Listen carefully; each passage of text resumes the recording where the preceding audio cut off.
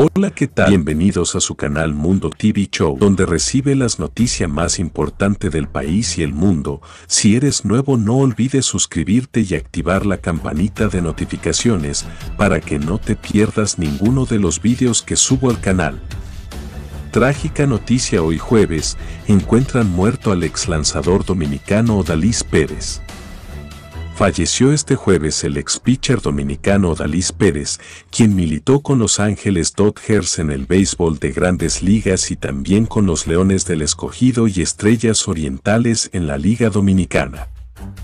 Según los primeros informes, Pérez se cayó de las escaleras de su casa, ubicada en la calle Charles de Gaulle, en el municipio Santo Domingo Este y habría sido encontrado por su hermano en la residencia pasadas las 6 de la tarde.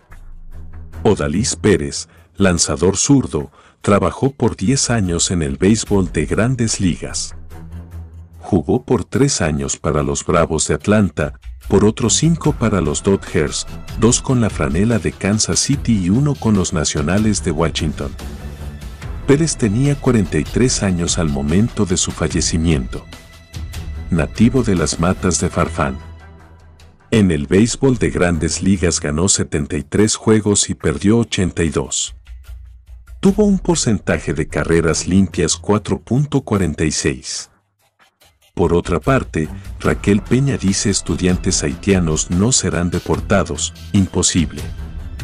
La vicepresidenta de la República, Raquel Peña, informó este jueves que los estudiantes haitianos que están cursando carreras en territorio dominicano no serán deportados, y añadió que el gobierno trabaja para la emisión de los pasaportes visados a los nacionales de la vecina nación. En ese sentido, Peña aseguró que los estudiantes haitianos podrán terminar sus respectivas carreras en la República Dominicana. Nosotros hemos tenido por muchos años estudiantes haitianos y siempre han tenido el respaldo debido. Esta vez no va a ser diferente, indicó la vicemandataria a su salida de un evento de la revista Mercado en la capital dominicana.